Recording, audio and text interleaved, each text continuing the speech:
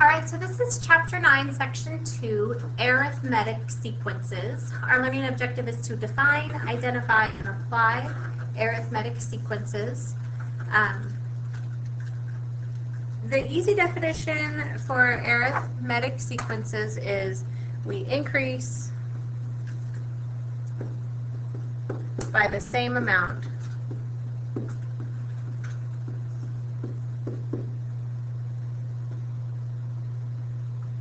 each time.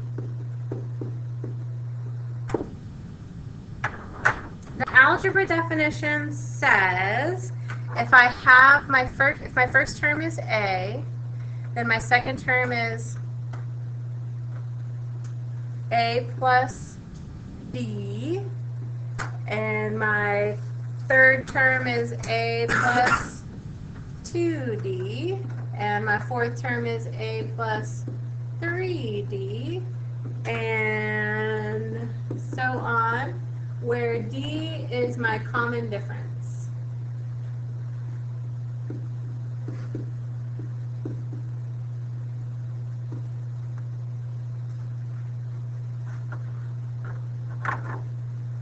Recursively, it looks like, so remember, any recursive formula you have to identify your first term. So A1 is A. And then to get from term to term,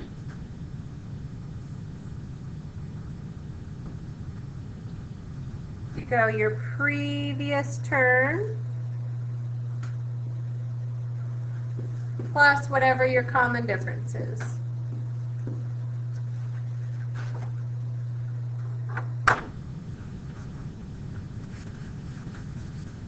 Our explicit formula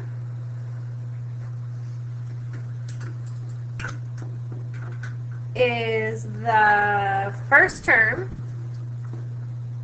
plus n minus 1 in parentheses times the common difference.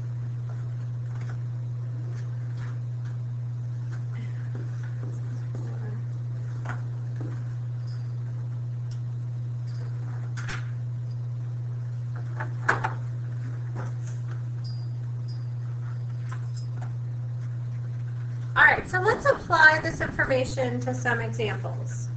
So if I have a sequence 2, 4, 8, 16, I need to identify is this arithmetic or not arithmetic. If it is, let's write, let's find the common difference. So for the first two, we're going to identify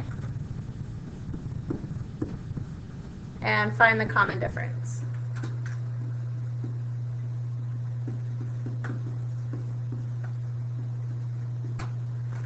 So we need to see, is there, are we increasing by the same amount each time?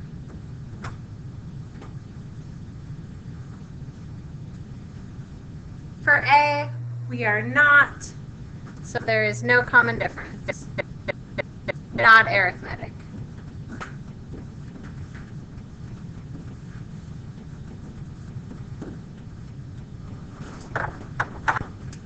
For B, we have 4 and 5 and not, 5 plus 4 is 9 and 9 plus 4 is 13 and 13 plus 4 is 17. So in this case we are, yes, it's arithmetic.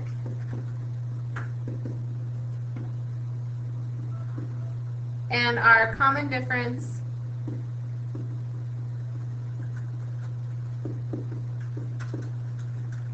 is 4.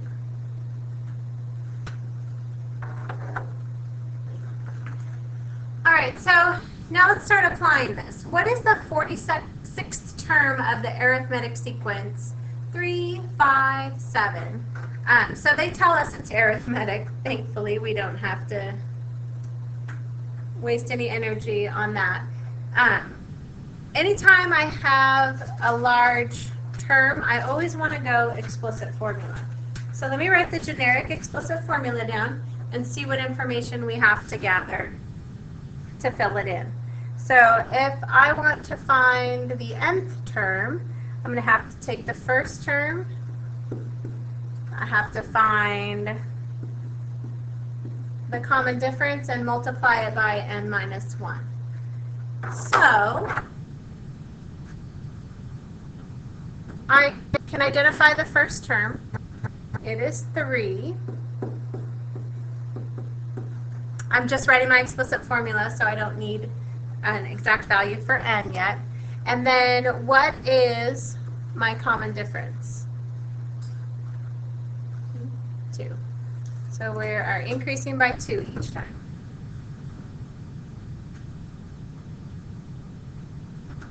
So now if I want to find the 46th term, I would take 46 and plug it in for n.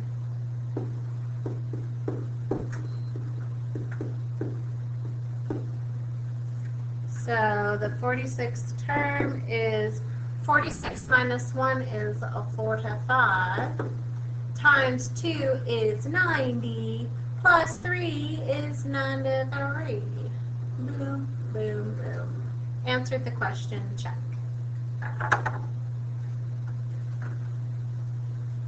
So we're going to have to start getting clever because if we know what we increase by each time, if we know it's arithmetic, then they're going to start giving us scenarios where they're not clearly defined. So in this case for D, fill in the blanks of this arithmetic sequence, 80, comma, something, comma, something, comma, 125. The only thing I know is that it's the same increment every time. So let's find what the difference is from 80 to 125. I think that's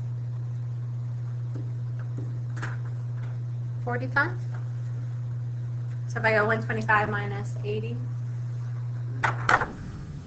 So my total distance, my total difference between, and we'll, we'll double check just in case, just in case we're crazy talking. So 125 minus 80 is 45. So I need to increase in the same increment every time. And I, I look at it like this. If I increase by tens, so if I went 80 and I did 10 more, that would be 90. I did 10 more, that would be 100. I did 10 more, that would be 110. So increasing by tens doesn't work. If I increase by 20s, 80 plus 20 is 100, plus 20 is 120, plus 20 is 140. So 10 doesn't work, too small. 20 doesn't work, too big. What's in the middle with that? 15. So let's see if I do increments of 15. So that would be 95, 95 and 15, 100 and 10. And then 125. Okay, so then let's do a little double check to make sure we're complying with all the forces of math.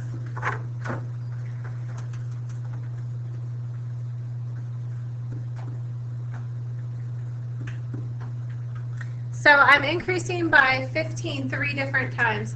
Is that equal to 45? 15 plus 15 plus 15. Yeah. Awesome. So we use the properties of arithmetic sequences to kind of fill in the missing blanks. All right, so the last scenario you guys are going to encounter is something we call the arithmetic mean. And the arithmetic mean is the average of two numbers, and it's written as x plus y divided by 2. I know this seems like it should be harder, but it really is not. We've been doing average for a really long time. So if we're going to fill in the blank of an arithmetic sequence, I have 98 something, 66. I want to fill in that blank. So I am not going to do anything harder than taking these two numbers